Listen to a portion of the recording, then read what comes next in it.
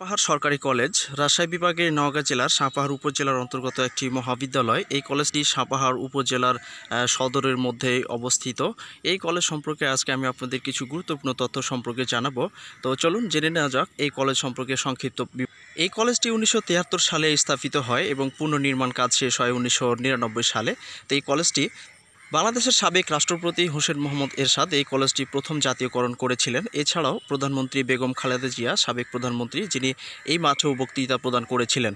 তো এই কলেজ সম্পর্কে আমরা মোটামুটি জানব। সাপাহার সরকারি কলেজে তিনটি ভবন রয়েছে। তার মধ্যে আমরা এই পূর্ব পাশের যে ভবনটি দেখছি, এই ভবনটি হচ্ছে একটি প্র্যাকটিক্যাল বা গবেষণাগারের ভবন এটা। আর এই ভবনটি যে আমরা দেখছি, এই ভবনটি হচ্ছে প্রশাসনিক ভবন।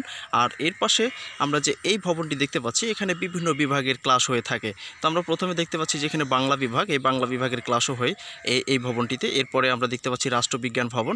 এরপরে এখানে একটি অডিটোরিয়াম রুম আছে। এই যে আমরা এই এই হলুদ কালারের যে ভবনটি দেখছি আমরা, এই ভবনটি হচ্ছে একটি অডিটোরিয়াম এখানে বিভিন্ন অনুষ্ঠানের আয়োজন করা হয়ে থাকে এখানে এই ভবনটির মধ্যে। তো এরপরে এই সাপাহার সরকারি কলেজের তিনটি ভবনের মোটামুটি আমরা পরিচিত হলাম। এছাড়াও একটি পুরুষ হোস্টেল ও একটি মহিলা হোস্টেলও রয়েছে। তো এখানে আমরা দেখতে পাচ্ছি এই পাশে যে এখানে যে আমরা ভবনটি দেখতে পাচ্ছি, এটি হচ্ছে একটি মহিলা হোস্টেল। এটি গাছের কারণে আমরা স্পষ্ট দেখতে পাচ্ছি না, তবে আমরা এই ভবনটির কাছে গিয়ে দেখব আসলে এই ভবনটি কেমন। তো এখানে মহিলা হোস্টেলের এইটি হচ্ছে মহিলা হোস্টেল। এখানে প্রায় পঁচাশি নব্বই জন ছাত্রী একসঙ্গে থাকতে পারেন, অর্থাৎ একটি কক্ষের মধ্যে চারজন, একটি করে সিঙ্গেল বেড দিয়ে এই হোস্টেলটি পরিচালিত হয়ে থাকে। এরপরে পুরুষ হোস্টেলটি আমরা দেখব, এই এই এই বরাবর আছে, এই পুরুষ হোস্টেলটিও আমরা পরবর্তীতে দেখব। এছাড়াও এখানে রয়েছে একটি মসজিদ এবং একটি রয়েছে সুবিশাল খেলার মাঠ, আপনারা দেখতে পাচ্ছেন যে এইটা হচ্ছে খেলার মাঠ। এই খেলার মাঠে আসলে অনেকেই খেলাধুলা করে থাকে এই মাঠের মধ্যে। তো আমরা এই মাঠ সম্পর্কে মোটামুটি দেখতে পাচ্ছি যে প্রচুর পরিমাণে এখানে ঘাস রয়েছে। এই ঘাসের মধ্যেও কিন্তু আহ, ছেলেমেয়েরা আহ, অনেক বিভিন্ন ধরনের খেলাধুলা করে থাকে। রয়েছে এবং এই কলেজের সংলগ্ন একটি পুকুর রয়েছে। আমরা এই পুকুরটিও দেখব। এখানে পড়ার ধরন রয়েছে। কলেজে উচ্চ মাধ্যমিক পর্যায়ে বিজ্ঞান, মানবিক এবং ব্যবস- ব্যবসায়ী শাখায় পড়াশোনার সুযোগ রয়েছে। এছাড়াও এই কলেজে জাতীয় বিশ্ববিদ্যালয়ের অধীনে চার বছর মেয়াদি পড়ানো হয়ে থাকে। পড়ার সুযোগ রয়েছে এখানে। এখানে বিভিন্ন ছাত্রছাত্রী বহুকাল ধরে পড়াশোনা করে আসছে এবং নিজ কর্মকাজে অনেকেই লেগে পড়েছেন বা অনেকেই কাজ করেন। আর এটি কলেজটি অত্যন্ত গুরুত্বপূর্ণ একটি কলেজ বা এই কলেজে অনেক ছাত্রছাত্রী পড়াশোনা করে থাকে। তা আমরা পর্যায়ক্রমে প্রত্যেকটি ভবনেরই মোটামুটি আমরা একটু দেখার চেষ্টা করব ইনশাল্লাহ এখানে আমরা একটি স্টেজ দেখতে পাচ্ছি। এটি অর্থনীতি অর্থনীতি বিভাগের সামনে স্টেজটি করা হয়েছে। একটি শহীদ মিনারও আমরা দেখতে পাচ্ছি। এই স্টেজেই মূলত বিভিন্ন ধরনের অনুষ্ঠানের আয়োজন করা হয়ে থাকে। আমরা এই যেখানে একটি স্টেজ সুদর্শন স্টেজ আমরা দেখতে পাচ্ছি এখানে যে অর্থনীতি বিভাগের নিচেই রাষ্ট্রবিজ্ঞান ভবনটি আছে। এটা তিন তৃতীয় তলায়। এরপরে অর্থনীতি ভবনটি আছে দ্বিতীয় তলায়। আর প্রথম তলার সংলগ্ন এখানে আমরা একটি স্টেজ দেখতে পাচ্ছি। এখানে একটি শহীদ মিনার সংলগ্ন একটি স্টেজ এখানে রয়েছে। আর আমরা ওই পাশের যে হলুদ ভবনটি দেখতে পাচ্ছি, এই ভবনটি হচ্ছে আসলে অডিটোরিয়াম রুম। এখানে বিভিন্ন ধরনের আয়োজনও করা হয়ে থাকে এই অডিটোরিয়াম রুমের মাধ্যমে। বিভিন্ন মিটিং, সভা বা ইত্যাদি ধরনের আয়োজন এখানে করা হয়ে থাকে।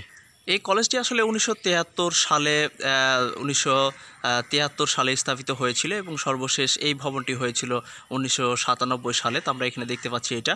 এরপরে আমরা এখানে বিশাল আকৃতির এই ভবনটি এক সঙ্গেই পশ্চিমে, কলেজের পশ্চিমে, মাঠের পশ্চিম পার্শ্বে আমরা এই যেখানে মাঠ দেখতে পাচ্ছি, এই যে বিশাল, সুবিশাল আকৃতির মাঠ, এই মাঠের পশ্চিমে আসলে এই ভবনটি নির্মাণ করা হয়েছে।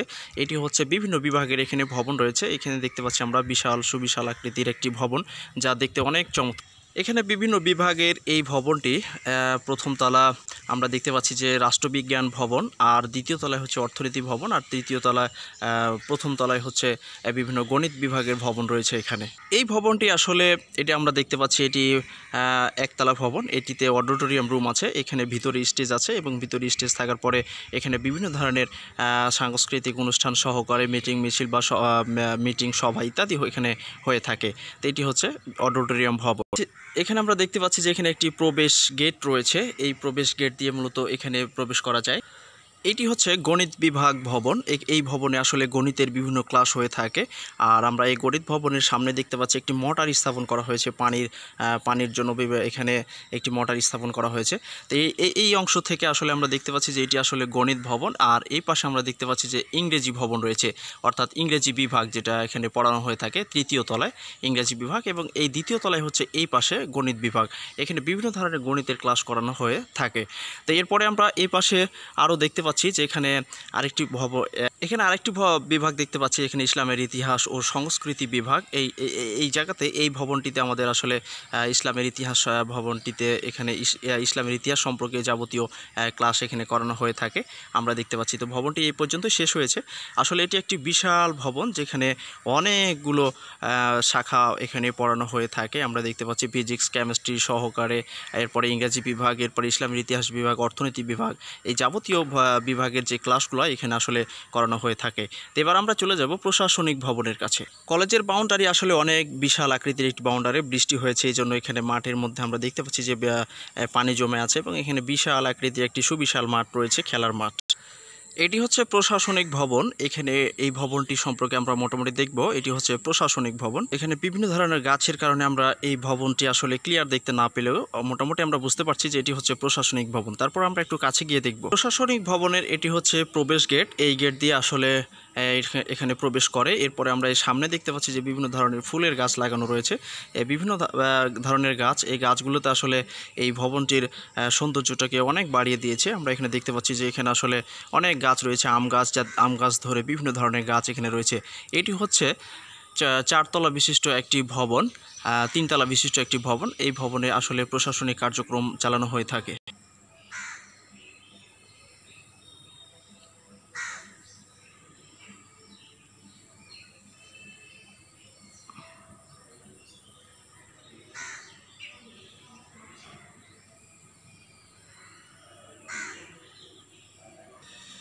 সাপার সরকারি কলেজ, ডিগ্রি কলেজ আগের নামকরণ অনুসারে এটি আসলে ডিগ্রি কলেজ হিসাবে নামকরণ করা হয়েছে। কিন্তু এখানে চার বছর মেয়াদী জাতীয় বিশ্ববিদ্যালয় এবং নির্মাণ কাল উনিশশো নিরানব্বই সালে এটি নির্মাণ হয়েছিল। বাস্তবায়নে এটি ফ্যাসিলিটিস ডিপার্টমেন্ট থেকে এই বিল্ডিংটি আসলে করা হয়েছিল।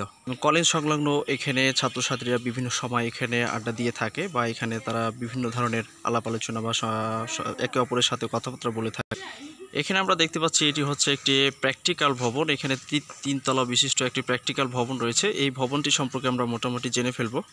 এই প্র্যাকটিক্যাল ভবনে আসলে ফিজিক্স কেমিস্ট্রি এবং জিওগ্রাফি সম্পর্কে প্র্যাকটিক্যাল করানো হয়ে থাকে। এখানে যেটাকে আমরা ডায়মিনিস্টারের স্যাররা এখানে আসলে তাদের বিভিন্ন ধরনের প্র্যাকটিক্যালের কাজ সম্পন্ন করে থাকে। এটি হচ্ছে ভূগোল ও পরিবেশ বিভাগ। এই বিভাগ এই ভবনে আসলে ভূগোল ও পরিবেশ বিভাগ সম্পর্কে বিভিন্ন ধরনের প্র্যাকটিক্যালের কাজ পরিচালনা করে থাকে। আমরা দেখতে পাচ্ছি এখানে। আমরা দ্বিতীয় তলায় দেখতে পাচ্ছি যে এখানে হচ্ছে বিজ্ঞান ভবন। এই বিজ্ঞান ভবনে বিজ্ঞান সম্পর্কে বিভিন্ন ধরনের প্র্যাকটিক্যাল এখানে করানো হয়ে থাকে এবং এর নিচের অংশে আমরা দেখতে পাচ্ছি যেটি হচ্ছে রসায়ন বিভাগ। এই নিচের অংশে রসায়ন বিভাগের বিভিন্ন ধরনের প্র্যাকটিক্যালের কাজ সম্পন্ন করে থাকে।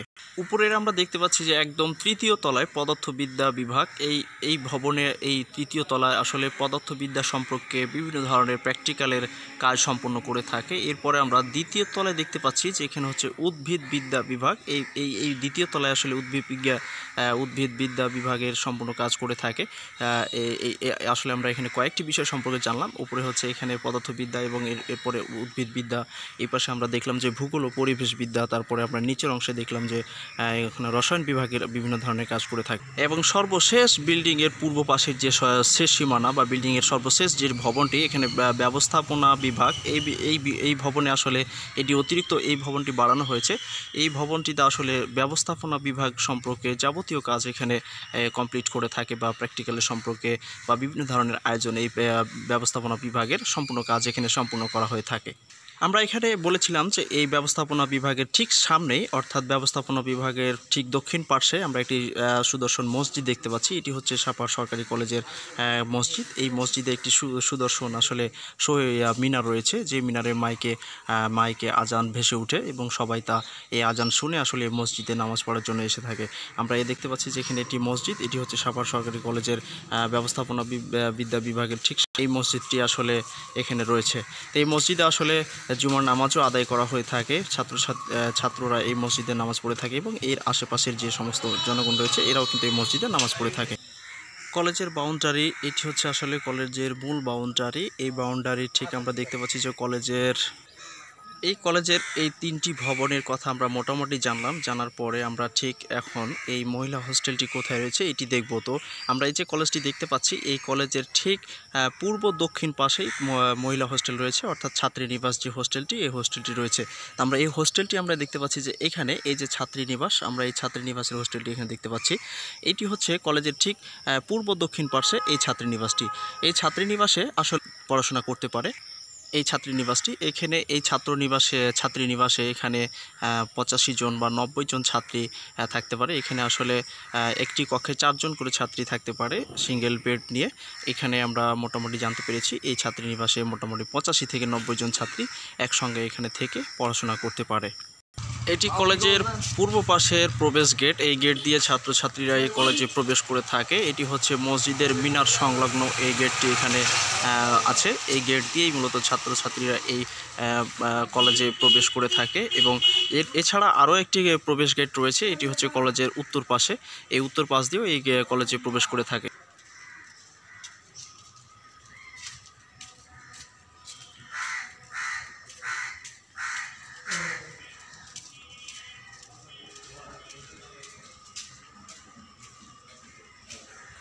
এই পুকুরটি হচ্ছে সাপার সরকারি কলেজের একমাত্র পুকুর। যে পুকুরের কথা আমরা একটু আগে বলেছিলাম, এই পুকুরে আসলে পুকুরটি টেন্ডার দিয়ে দেওয়া হয় এবং টেন্ডার অনুযায়ী যে টাকা পায় সেই কলেজের ফান্ডে চলে যায়। এটি হচ্ছে সেই সাপার সরকারি কলেজের একমাত্র পুকুর। অনেক বড় আকৃতির এই পুকুরটি, এখানে প্রচুর পরিমাণে মাছ চাষ করা হয়ে থাকে। এটি হচ্ছে সাপার সরকারি কলেজের পুরুষ হোস্টেল, ছাত্রাবাস এটি। এই যে হোস্টেলে, হোস্টেলটি হচ্ছে এক, হোস্টেলটির এক অংশ তৃতীয় তলা এবং বাকি অংশ হচ্ছে দ্বিতীয় তলা। এখানে মোট পনেরোটি, দ্বিতীয় তলা পর্যন্ত মোট পনেরোটি কক্ষ রয়েছে। এই পনেরোটি কক্ষের মধ্যে একসঙ্গে সত্তর জন ছাত্র থাকতে পারে। অর্থাৎ একটি কক্ষে একজন করে চারজন করে সিঙ্গেল বেড নিয়ে চারজন করে ছাত্র একটি কক্ষে থাকে। আর আমরা যে এই অংশে দেখতে পাচ্ছি যে তৃতীয় তলা, এখানে আসলে শিক্ষকরা থাকেন। বিশেষ ক্যাডার যারা আছেন দূর দূরান্ত থেকে আসেন, তারা এই ওপরতলার এই কয়েকটি কক্ষে তারা অবস্থান করেন এবং তারা এখানে থেকেই আসলে কলেজটি কলেজে ক্লাস করে থাকে। সাততলা বিশিষ্ট আটটি কক্ষ রয়েছে, তিনতলা বিশিষ্ট সাতটি কক্ষের মধ্যে রয়েছে দ্বিতল বিশিষ্ট ভবন। এখানে পনেরোটি কক্ষ রয়েছে এবং পনেরোটি কক্ষের মধ্যে একটি ডাইনিং রুম আছে, একটি টিভি রুম আছে। এই সেই হচ্ছে ছাত্র হোস্টেলের প্রবেশ। এই গেট দিয়ে ছাত্ররা প্রবেশ করে থাকে। এটি আসলে খুব সুন্দর করে এখানে গেট করা হয়েছে। এই গেট দিয়ে মূলত ছাত্ররা প্রবেশ করে থাকে। বাইরের গেট ছাড়াও এটির ভিতরে আরও একটি গেট রয়েছে, কেচি গেট। এই গেট দিয়ে প্রবেশ করে থাকে এবং বিল্ডিংটি হচ্ছে আই সিস্টেমের বিল্ডিং। এই বিল্ডিং দিয়েই মূলত পুরুষ হোস্টেলের যাবতীয় আহ, ছাত্রছাত্রীরা ছাত্ররা এখানে আসলে পড়াশোনা করে থাকে।